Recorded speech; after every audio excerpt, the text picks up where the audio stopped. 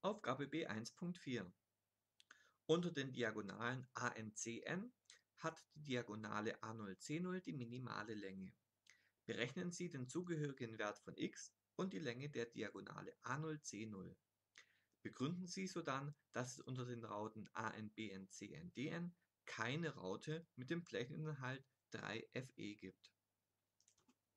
Wir sollen also erst die minimale Länge A0C0 berechnen. Aus Aufgabe 1.3 kennen wir noch die allgemeine Länge der äh, Strecke ANCN, nämlich mit ANCN ist gleich 0,25x minus x plus 2,25. Von dieser Strecke soll jetzt das Minimum berechnet werden. Das geht am einfachsten über den Taschenrechner. Wir gehen auf y ist gleich, tippen hier bei y1 die Formel der Strecke ANCN ein, schauen im Graphen nach, ist das Minimum sichtbar, jawohl, es ist zu sehen, also gehen wir auf Kalk und lassen das Minimum berechnen.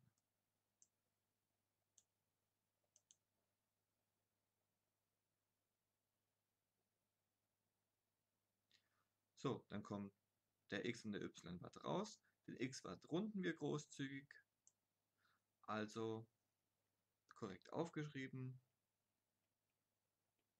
wäre das y ist gleich, dann bei y1 die Gleichung eingefügt,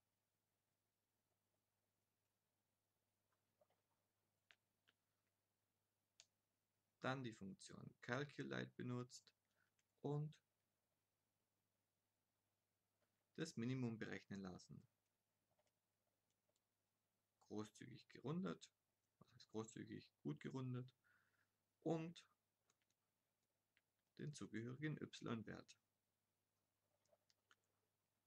Als Antwortsatz können wir also schreiben, A0, C0 ist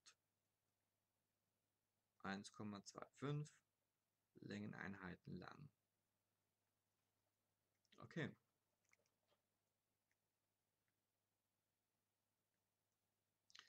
Weiter geht's mit begründen Sie, dass es unter den Rauten A, N, B, N, C, N, D, N keine Raute mit dem Flächeninhalt 3FE gibt. Also man muss jetzt nachweisen, es gibt keine Raute, die diesen Flächeninhalt besitzt. Dafür gibt es mehrere Möglichkeiten.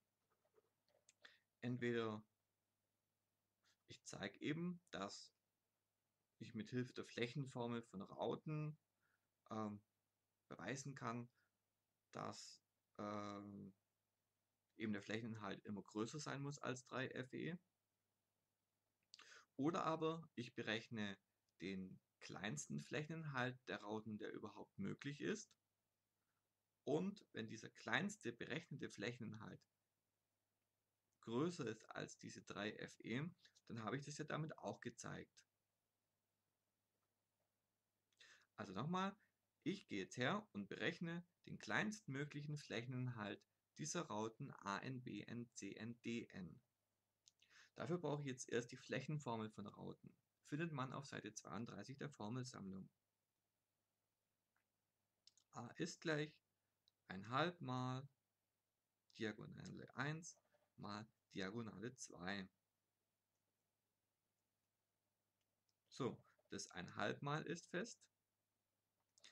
Die Diagonale 2, die ist ja auch schon festgegeben. Nämlich in Aufgabe 1.3 war es, 1.2, da hieß es, die Strecke BNDN ist 5 Längeneinheiten lang. Also die ist immer 5 Längeneinheiten lang. So, und jetzt brauche ich noch die Diagonale 1. Ja gut, ich habe jetzt gerade ausgerechnet in dem oberen Teil, die kürzeste Strecke A0, C0 ist 1,25 Längeneinheiten lang. Es gibt also keine Strecke AC, die kürzer wäre als diese hier. Das heißt, ich setze die einfach für meine Diagonale 1 an und berechne das jetzt, rechne das jetzt aus.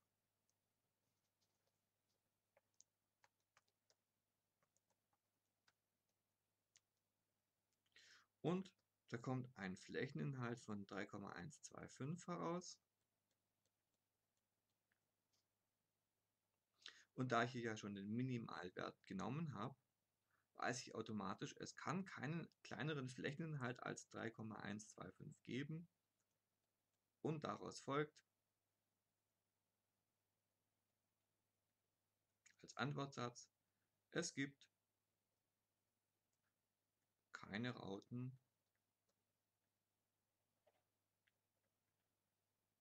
Mit 3FE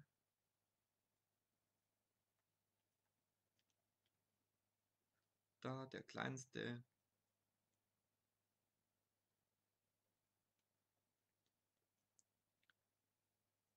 Flächeninhalt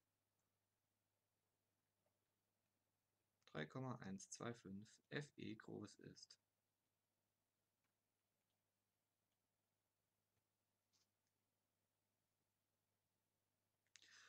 Wenn man versucht, mit Hilfe des Taschenrechners diesen Beweis durchzuführen oder diese Begründung, muss man aufpassen.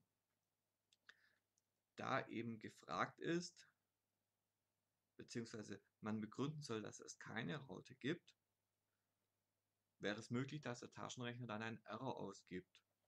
Wenn ich zum Beispiel eine Formel aufgestellt habe, der mir den Flächeninhalt berechnen soll und ich sage, drei Flächeneinheiten ist gleich Flächenformel der Raute und lasse es berechnen, da es diese Raute ja nicht gibt, wird der Taschenrechner auch einen Error ausgeben da bitte aufpassen, weil ähm, dieser Error könnte ja auch bedeuten, habe ich vielleicht ähm, mich vertippt und eine falsche Zahl eingegeben oder ist der spezielle Punkt jetzt im Graphen nicht sichtbar.